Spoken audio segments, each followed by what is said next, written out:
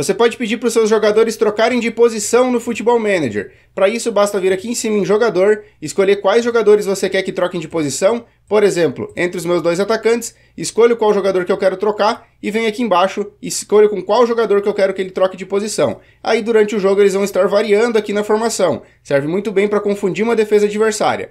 Para laterais e zagueiros, você não consegue fazer isso, mas para jogadores do meio de campo para frente,